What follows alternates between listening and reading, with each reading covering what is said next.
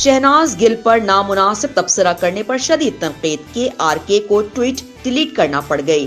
बॉलीवुड के मारूफ अदाकार कमाल राशिद खान अल मारूफ के आर के ने बिग बॉस तेरह से शोहरत पाने वाली अदाकारा शहनाज गिल के नए गाने पर तबसरा किया, जिसके बाद उन्हें शहनाज गिल के फैंस की जानब से शदीद तनकीद का सामना करना पड़ा। भारतीय मीडिया के मुताबिक शहनाज गिल अपने नए गाने यार का सताया हुआ है में अदाकार नवाजुद्दीन सिद्दीकी और जॉनी रोपेट के साथ जलवागर हुई, जिसमें गुलकार बी प्राग भी मौजूद थे। ताहम के आर के को शहनाज गिल और नवाजुद्दीन सिद्दीकी की केमिस्ट्री पसंद नहीं आई। उन्होंने माइक्रो ब्लॉगिंग वेबसाइट ट्विटर पर अपने ख्यालात का इजहार किया और लिखा कि आज मैंने शहनाज और नवाजुद्दीन का गाना देखा। भारतीय मीडिया के मुताबिक कमाल राशिद खान ने गाने को खतरनाक करार देते हुए लिखा कि नवाजुद्दीन डांस कर रहा है और शहनाज बेचारी अदाकारा कम, छिचोरी ज़्यादा लगती है। ये लड़की अदाकारी नहीं जानती।